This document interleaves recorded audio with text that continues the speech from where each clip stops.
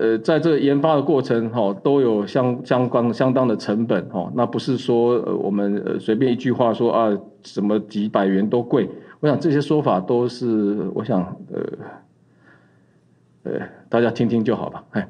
就是关于高端说每剂八百四十元，但是有医师表示说，其实高端是处于次蛋白的疫苗，那技术是比 mRNA 还要低端的，所以其实每剂超过两百元都算贵。这部分您怎么看？谢谢。高端变低端这个事情，这样子啦。我想好的疫苗的条件是这样子：是第一个就是要安全哦，第二有效，第三个要容易取得，第四个是可以负担嘛。我想这些都是很基本的道理。那另外，在这个所谓的容易取得、哈可以负担这部分，那很多疫苗，如果你呃你虽然很好，你买不到也没有用嘛，哈。那如果是太贵，那你可能也负担不起。基于这两点，哈，甚至说基于前面这几点，这个好的疫苗，我们才会想说去发展我们的这个国产疫苗。哦，那这个发展国产疫苗，有它是一个战略物资，对我们讲国家讲是非常重要。发展一个国国家发展疫苗是很不容易的事情哦，只有很少数的国家可以做到。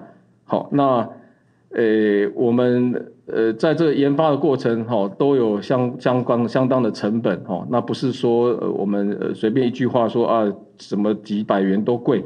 我想这些说法都是我想呃呃大家听听就好吧。哎，好，我们新确诊了哈，本土病例有三万四千两百四十二位。好，那当然是比起上个礼拜的礼拜好礼拜二好三万九千多例好，那是少了大概百分之十二点五啊。由这样子看起来，我目前的疫情哈还是往好好的一个方向来发展。